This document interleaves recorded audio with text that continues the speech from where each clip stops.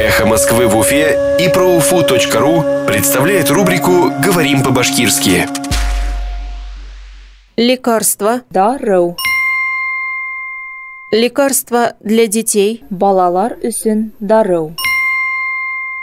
Лекарства для детей. Балалар өсөн дару. Из-за отказа Минздрава покупать лекарства больным детям возбудили уголовное дело. Һаулык һаклау министрлыгының авыру балаларга дарулар һатып алудан баш тартканы өсөн енәят эше кузгатылды. Из-за отказа Минздрава покупать лекарства больным детям возбудили уголовное дело. Һаулык һаклау министрлыгының авыру балаларга дарулар һатып алудан баш тартканы өсөн енәят эше кузгатылды. «Эхо Москвы» в Уфе и проуфу.ру представляет рубрику «Говорим по-башкирски».